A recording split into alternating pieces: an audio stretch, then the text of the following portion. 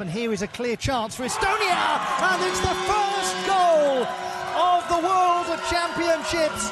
It's been a long time coming, a very long time coming, and it's the captain. It is Kaiti Kutizar. It's lucky Singapore to have two good goalkeepers. It's come off the frame. No, it's in. That is in.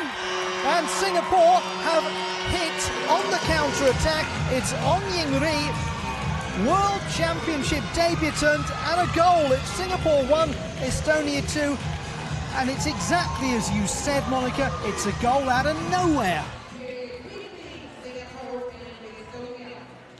That was the chance right before the conclusion of the period from Shannon Yeo.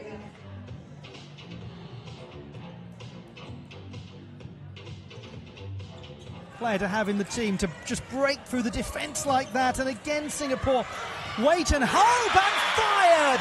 Fired into the bottom corner by Jerry Leong. She started it, and boy, did she finish it. It's Singapore 2, Estonia 2, it's game on.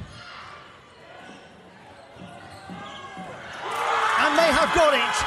The loose ball brings immense joy to Estonia. The goal scored by the number 30.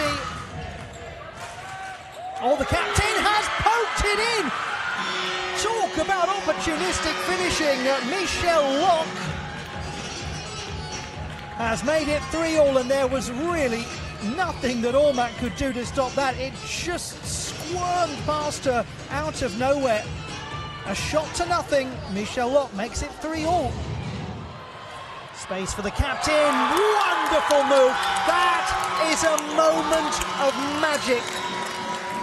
Kaiti Kutizar to uh, Idit Panik. And Estonia might, might just have produced the defining moment of quality. Singapore 3, Estonia 4.